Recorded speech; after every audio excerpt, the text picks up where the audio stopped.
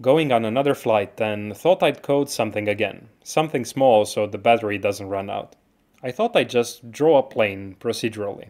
Some people like drawing to pass the time, I prefer coding something instead. And whether it becomes useful or not, I guess we'll just wait and see. Now, here's how it went. I began making a basic HTML web page with a canvas element.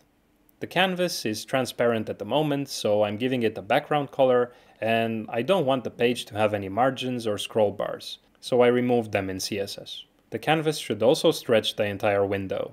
Now, I thought I'd implement the plane in its own file and generate it in the center screen with the size of 300 by 150, like so. To draw the plane, I grabbed the reference to the 2D drawing context and passed it to the plane draw method which I had to implement. Oh, Time for the drinks. I'm taking the blueberry juice again. It's really good. Now, where was I?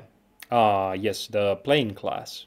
I just set the attributes in the constructor and the draw method.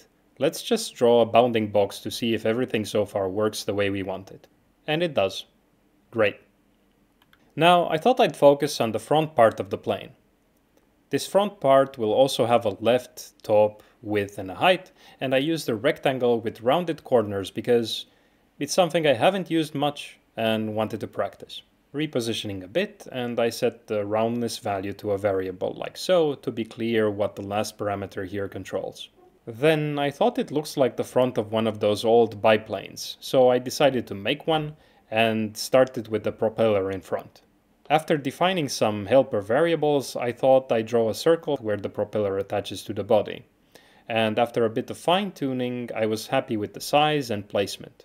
Then define the size for the propeller and used an ellipse. Again, after a bit of fine tuning, it looked nice I think. And it was time for the wings. I thought I'd do the same thing as for the propeller, but horizontally. I said horizontally. That's better. And a biplane has two wings on top of each other, so let's make another one at the bottom. Nice, but I didn't like the symmetry, so I moved it a bit back like so. Then I thought to draw those bars and strings connecting the wings, but I also thought I'm running out of battery and decided to leave them for later if time. Now switching focus to the back of the plane instead. Thought I'd use another round rectangle here and after some adjustments I was happy with the proportions. It just needed some details like that place where the pilot sits. I set the global composite operation to destination out to cut a hole and move the hole at the top so it looks like a semicircle in just the right spot. Then, to draw the tail, I couldn't think of any default shape that can be used in a clever way, so I defined some helper variables and started drawing it line by line. And after some fine tuning, it was okay, but still lacking some detail. So I thought to draw a wheel used for landing. As I started drawing it, I thought this would be a nice thing to animate, so the angle can change and it would seemingly lower below the plane when needed. So I kept the wheel angle as an attribute of the plane and depending on that created these helper variables to draw the wheel. This function was becoming too long, so I took out drawing the wheel like this. It was just a line for the support and a circle which I made thicker like so. I moved drawing the wheel below the plane so it looks like coming from beneath. Then, because I have this function now, I can easily add another wheel at the front. Renamed this function and made it more general by passing the location as a parameter. Called it where we draw the front part and voila! To control the angle, I just added a simple slider to the page and when the value changes, it updates the wheel angle attribute and redraws the plane. Didn't work. I forgot how the event listener is called, and after some trial and error, I got it to work. I just have to clear the canvas before redrawing the plane, and I don't want this bounding box here either. I did a bit of fine tuning so the wheels would disappear when I don't want them to be visible, and I thought I'd do more of this stuff like change the angle of the wings using another slider.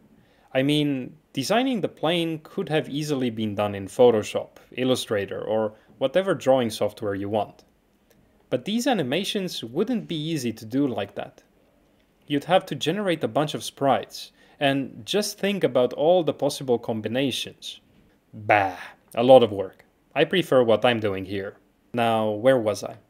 Oh, I did the wings already. I took out the angle of the wings as a class attribute and rewrote the function pretty much using the translate and rotate methods from the canvas context. I had to do this because I wanted them to turn relative to some center point.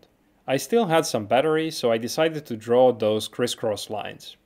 They looked nice, I think, but I wanted to have some smoother animations. Those sliders were just updating on mouse up. Couldn't remember the proper event listener to update on drag, so I made an animation loop instead, where the plane attributes update on every frame. Much smoother. Nice. But the propeller isn't moving, so a quick trick is just to hide it on every other frame. So we need the frame count and I just set the global alpha to zero so they disappear on every even frame.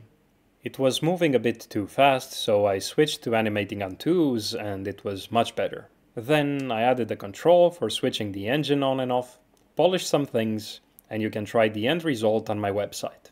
Here's an animation I made by just playing with the sliders while screen recording. I then cropped, did a blue screen removal, and moved the plane along a path in Premiere Pro.